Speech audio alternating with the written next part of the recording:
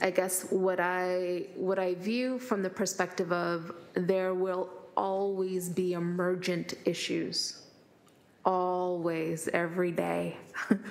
some of them span into the realm of human rights, some of them span into the realm of equity, some of them span into the realm of climate, some of them span to the realm of uh, adverse impact onto residents that we represent in this municipality or in our particular ward or by nature of who we are as individuals.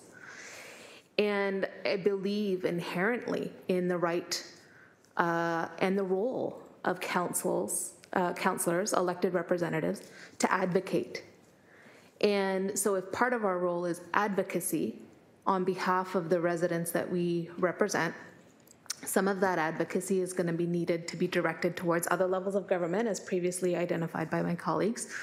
But sometimes it's also uh, just in general making a statement because it is critically important, I think, in a previous or upcoming slide about not remaining as bystander on an issue, that we have an obligation uh, in moments as an expectation by our residents that we speak up when something happens and not necessarily wait until the next round or committee meetings and the next cycle of council for council as a whole to take a position on an incident. So I think it's really important to have this conversation. I think it's really key to get clear around what is an emergent stance, uh, what is advocacy, what is the role of making public statements, versus the expectation of speaking to other for, uh, levels of government based on a policy position of the municipality. I think there's some distinctions there that are worth contemplating and getting clear about so um, everybody around this horseshoe is consistent in our approaches if uh, we, we choose to engage that way. Thank you. Thanks, Councillor Nann. Integrity Commissioner? Thank you, Madam Mayor. Uh, this is a, an important point, but also a couple of things that are maybe a little bit conflated, and I want to pull them apart a little bit.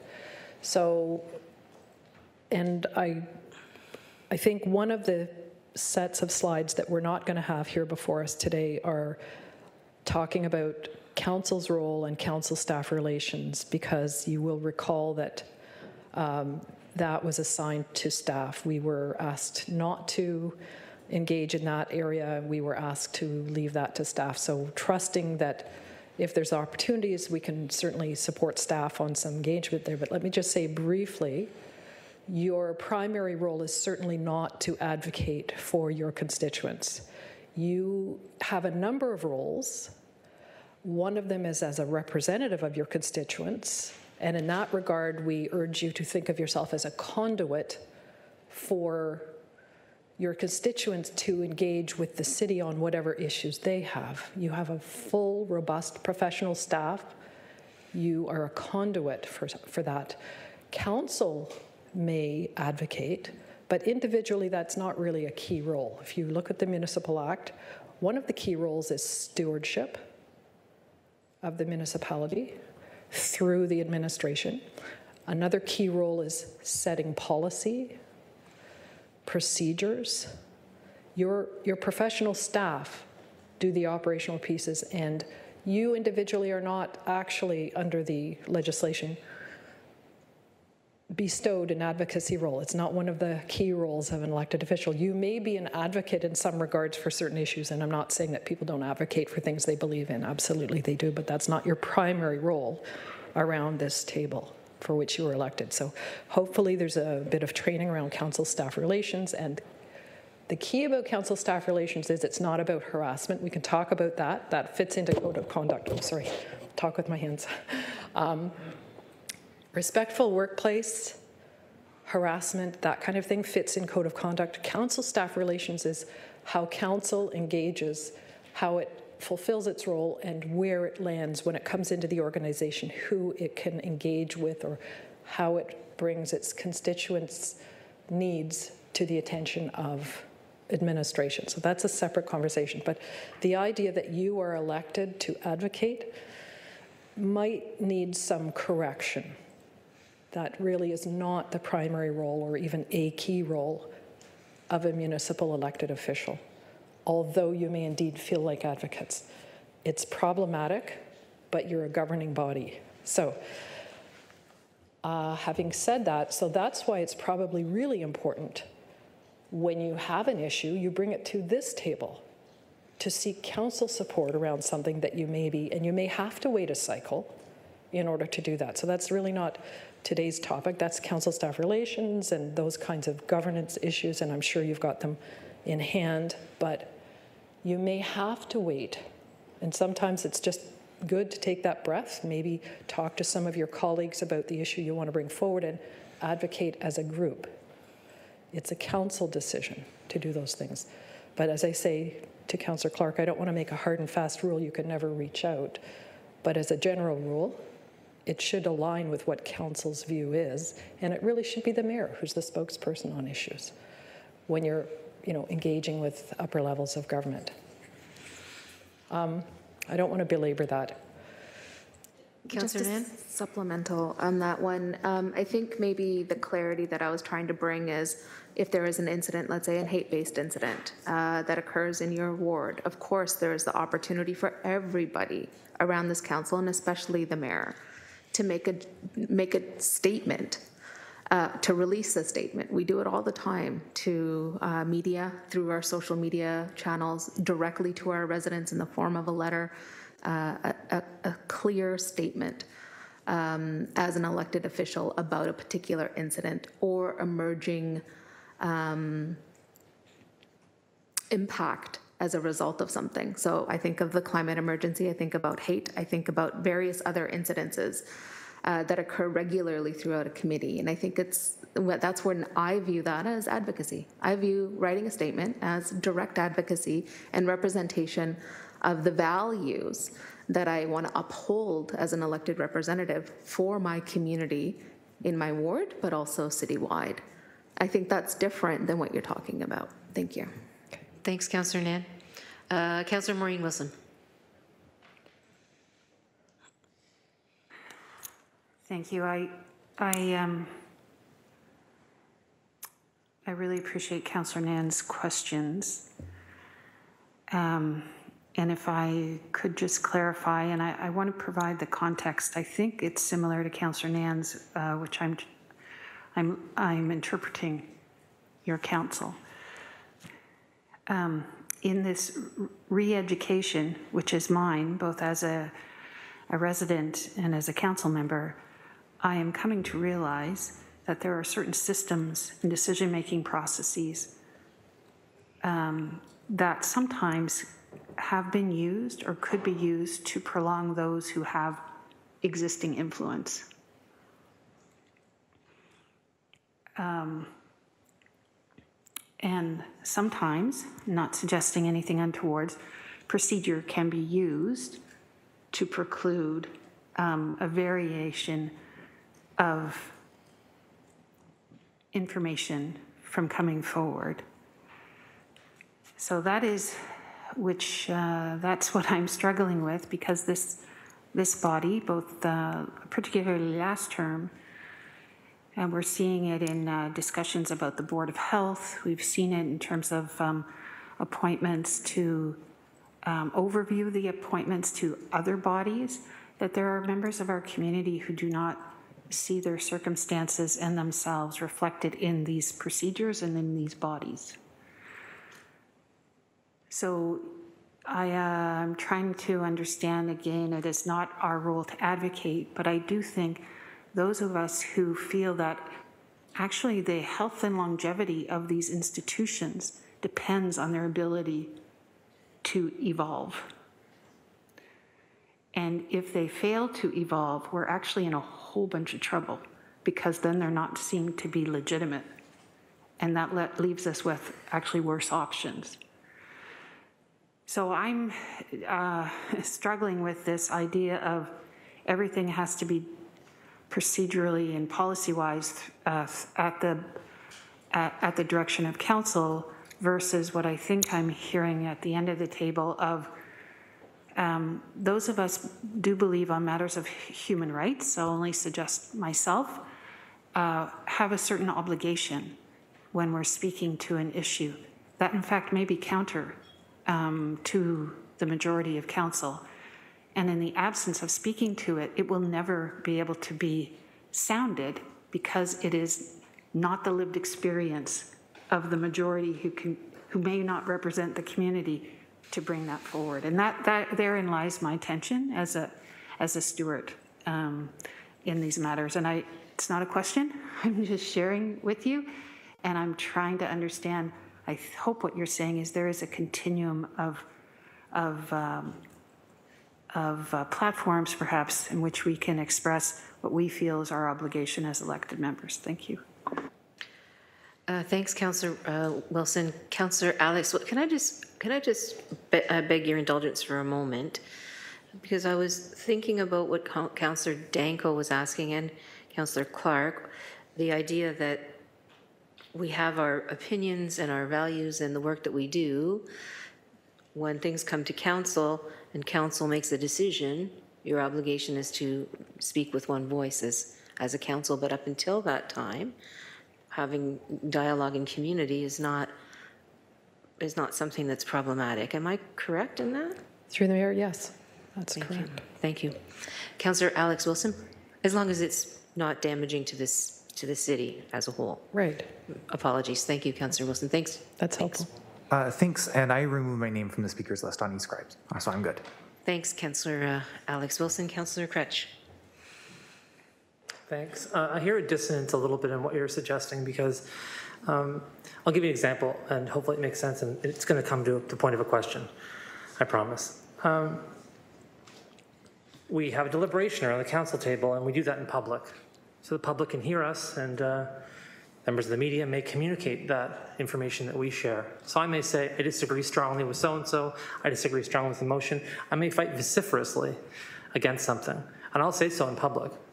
But uh, I lose that motion. I lose that, you know, I'm, I'm voting against it, but I lose. Um, I, I can't understand how I couldn't say that again if I wanted to whenever. Like I've said it in public already, right? Public's already reported it, the media's reported it, and so I say so again later. Like I get the council voted against what I what my wishes might be or the way I might feel about it, but I don't think it's a problem for me to voice my opinion, is it, on that subject? I just say like I don't agree, right? And like I'm, like, I maintain my opinion, right? As long as I'm not saying like and council is evil, therefore for doing so, or, or whatever you would consider disparaging to be, I'm free to give my opinion when I wish, I presume. Through the mayor, that's, that's great. That's exactly it. You can't be disparaging of your colleagues. You can't be disparaging of the institution. Um, It's fair to disagree, and you disagreed before, and you could disagree again. You could say pretty much what you said. Presumably, you're going to be respectful, even if you're vociferous. I mean, we say you could disagree without being disagreeable.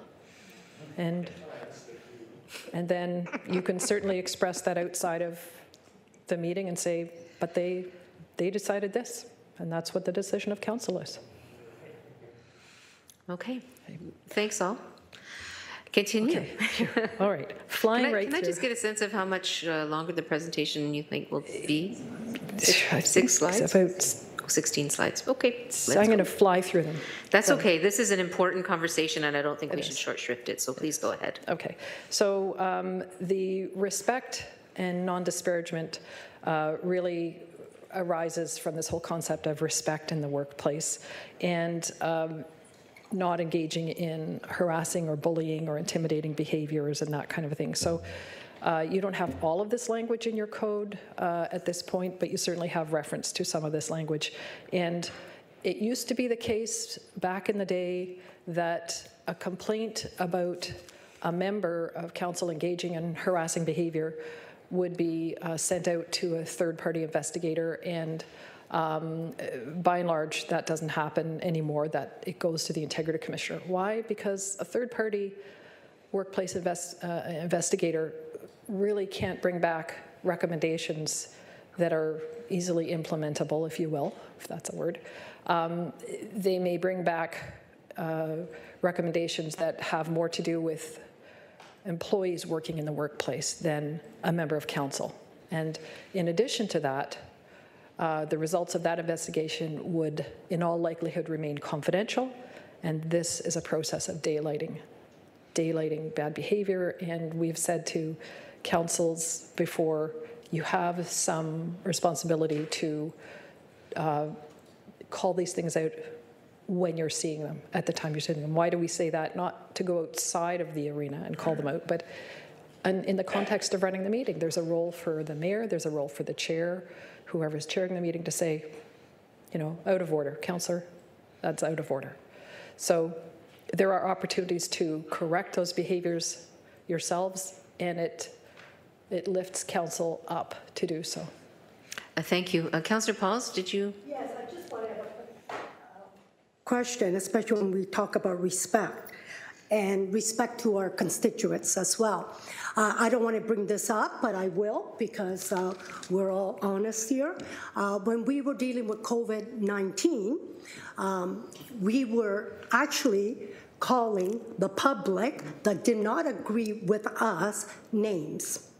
And I had a lot of emails saying, you know, what's going on?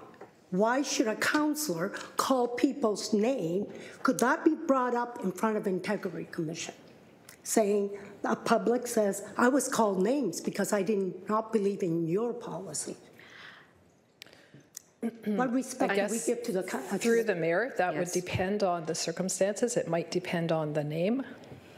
Uh, It would certainly, it, it might be something that the integrity commissioner would reach out to the counselor and say, you know, you've been accused of calling these individuals these names. Is this something that uh, you would like to walk back?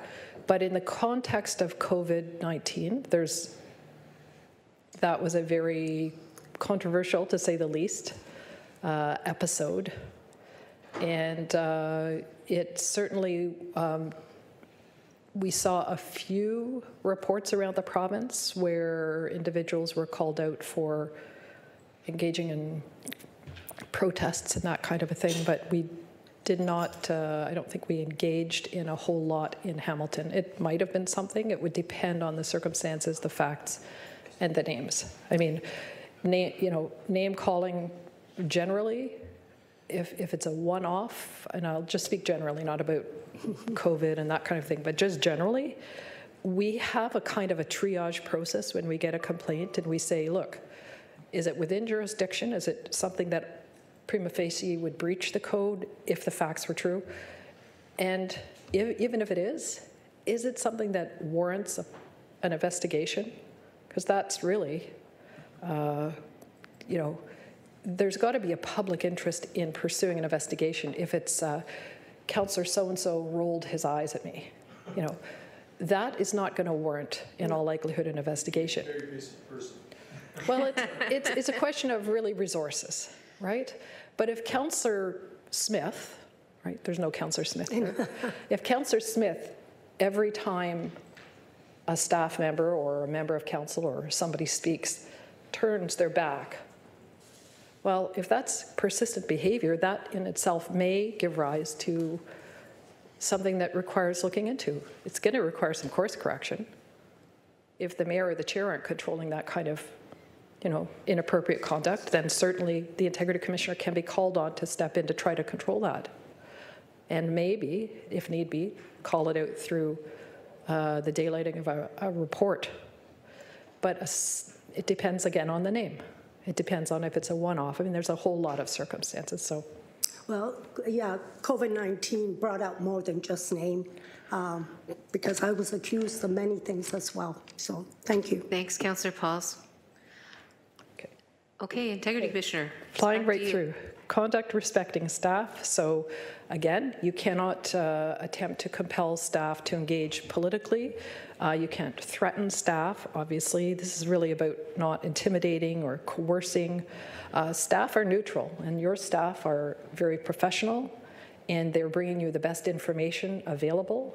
Uh, And you, it- it's improper for, I shouldn't say you, I'm sure you wouldn't do this, but it's improper for an elected official, a member of council, to sit and uh, criticize, disparage, impugn staff's competence, staff's professionalism, staff's integrity.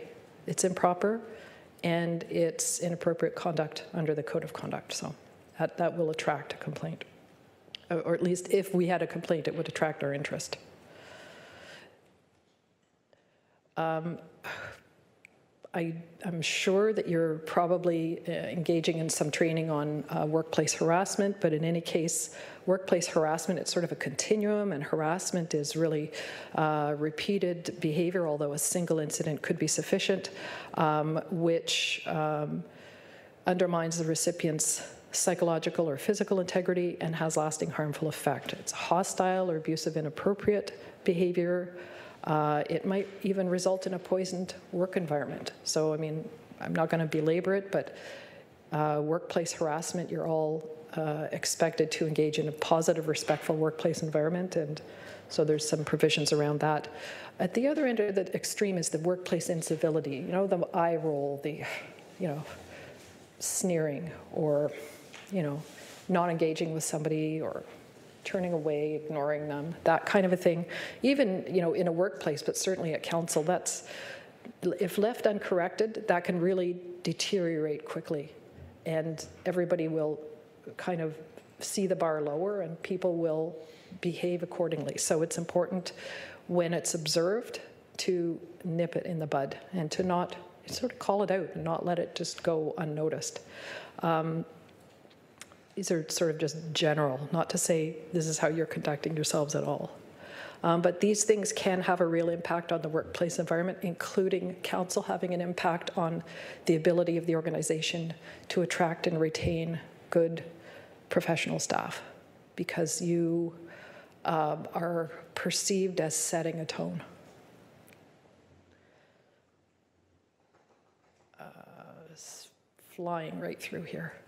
So building the culture, so it's, it's some of the responsibility falls to you for your personal conduct and not condoning inappropriate behaviors. So we say there are no innocent bystanders in these situations, and if you see it, call it out. And I think we, when we spoke to council, uh, bringing a report in the previous term, you know, we we think council has stepped up significantly, and we certainly you know, acknowledge and, and uh, you know, recognize that you are doing a good job in raising the bar for yourselves and for each other.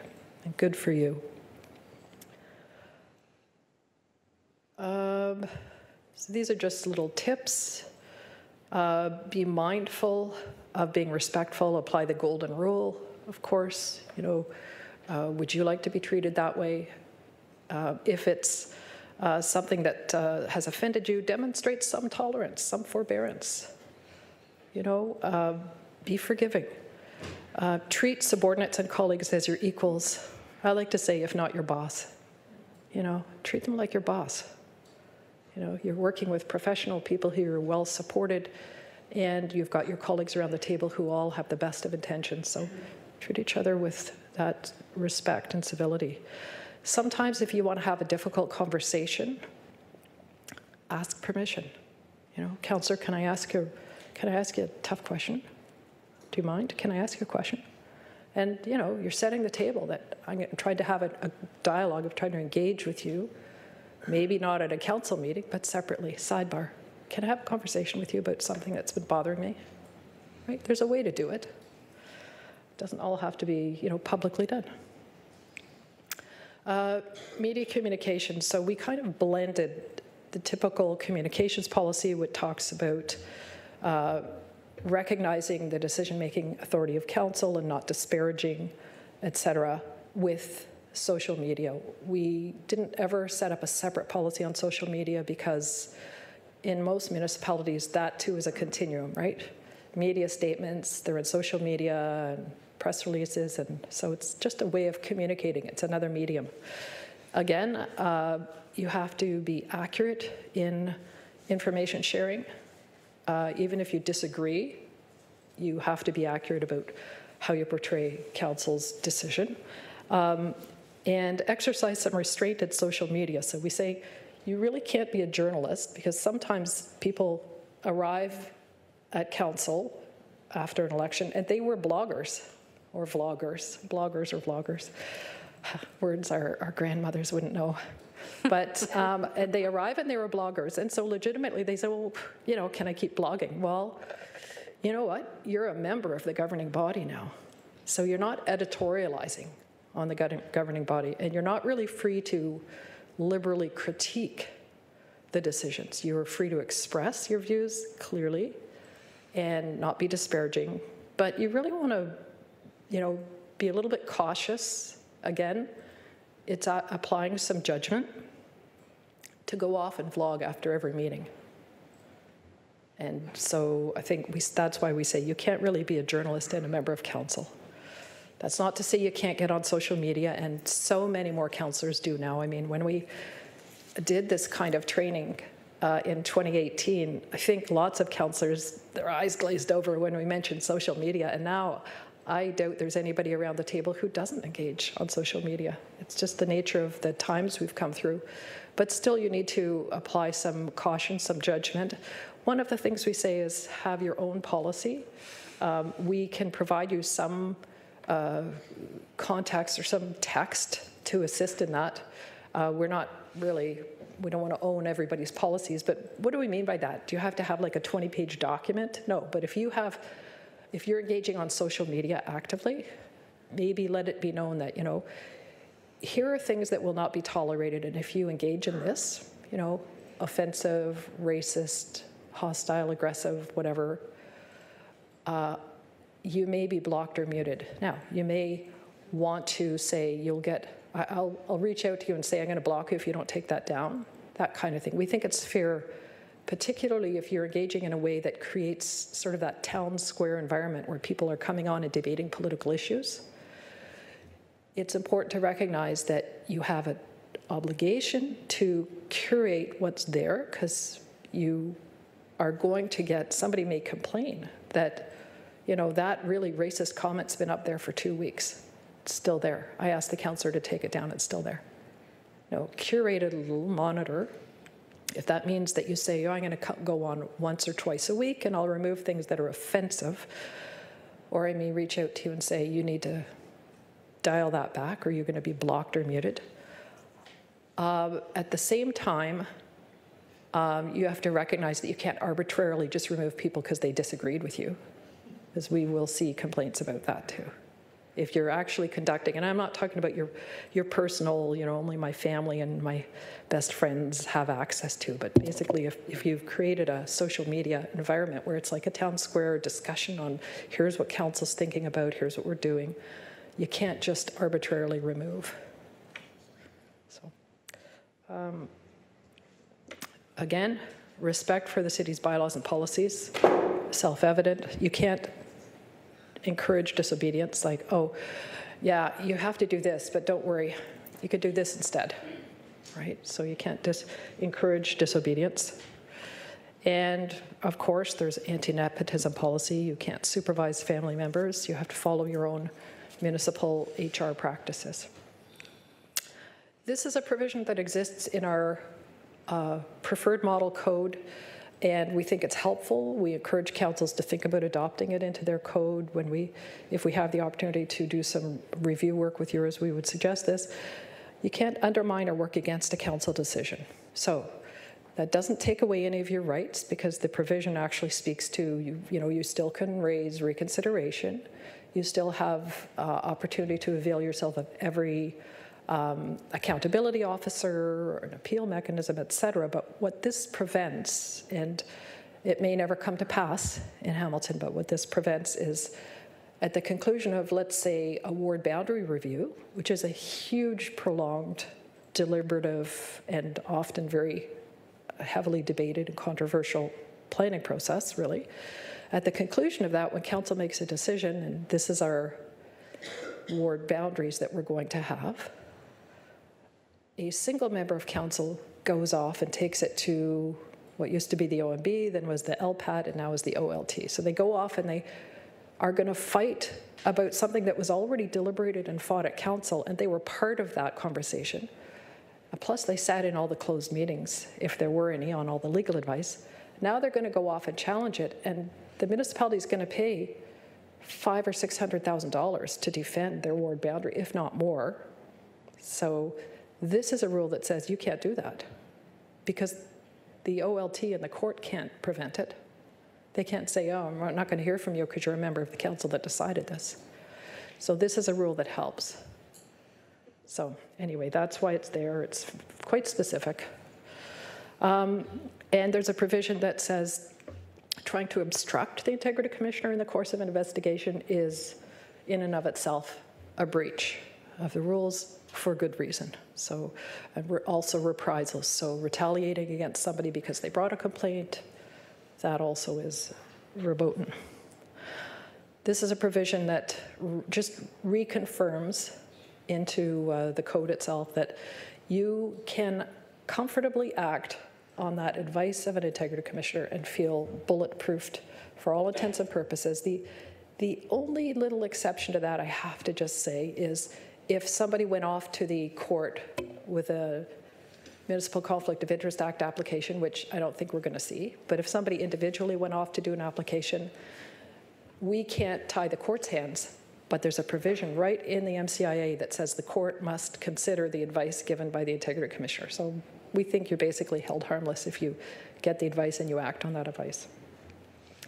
This is a horrible graphic, uh, which is looks terrible, but it's really not. So I'll take you down to the, the, the third box down on the left-hand side. That's a sort of a, an important piece of the triage for us.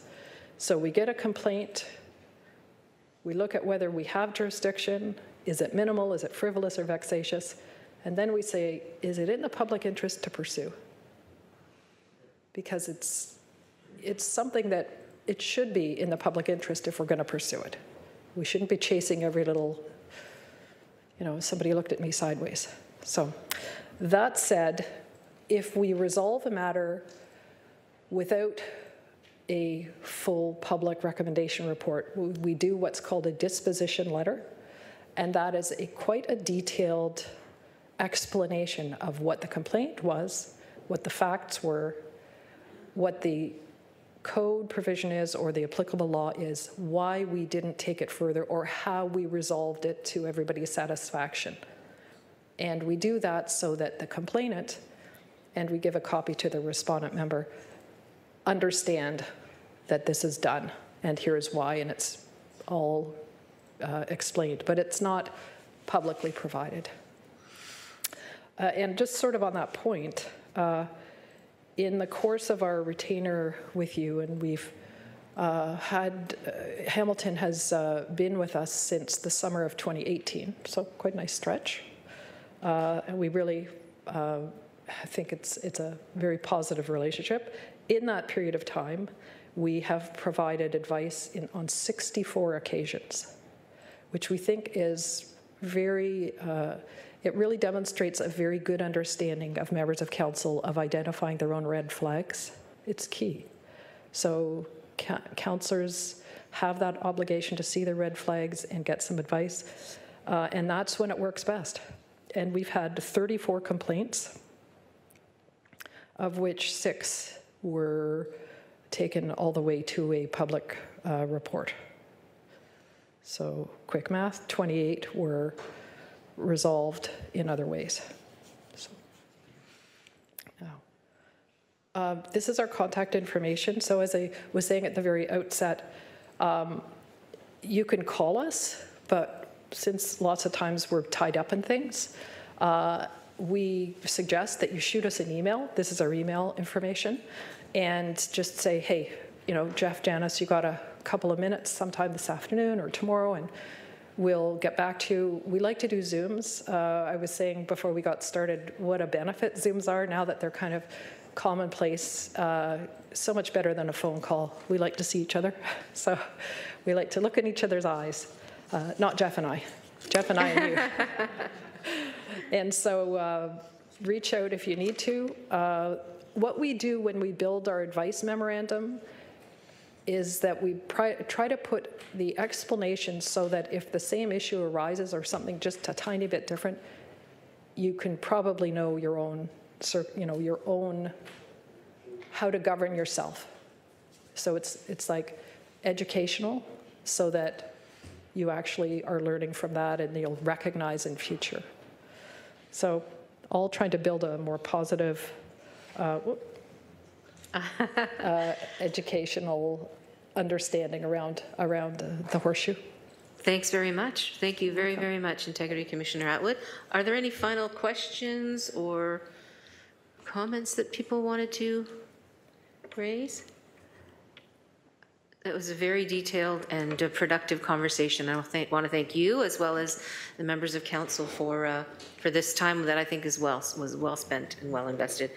Um, So then, we do have the, uh, the receipt of the presentation uh, that needs to be uh, moved. The role of, uh, role of the Integrity Commissioner in Code of Conduct and Review of Municipal Conflict of Interest Obligations. Can I have a mover and a seconder to approve the following? Uh, Councillor Hwang and Councillor Pauls, uh, that the training presentation respecting the role of the Integrity Commissioner and the Code of Conduct and Review of Municipal Conflict of Interest Obligations be received, and B, that training presentation respecting the role of the Integrity Commissioner and the Code of Conduct and Review of the Municipal Conflict of Interest Obligations be publicly released. We've already done that. I don't know that we need Part B, so maybe just Part A. I apologize for that, that, uh, that the presentation uh, be received. So that was moved by Councillor Hwang and seconded by Councillor Pauls. Uh, So we could just record our votes, please.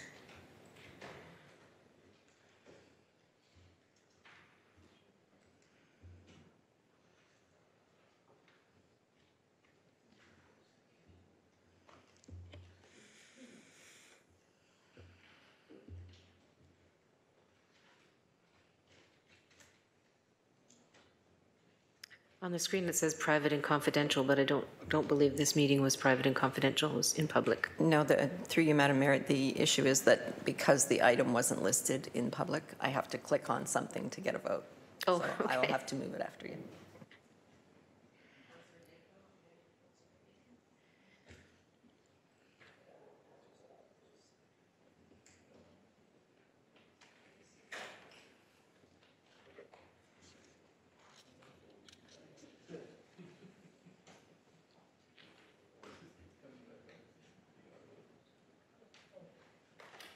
Waiting for the result of the vote. It did carry, yeah, we froze here. It did 16-0. 16-0? Thanks very much, everyone. Can I get a, a motion now to uh, adjourn, a mover and a seconder? Moved by Councillor Spadafora, seconded by uh, Councillor Francis. And again, can we have the vote, please?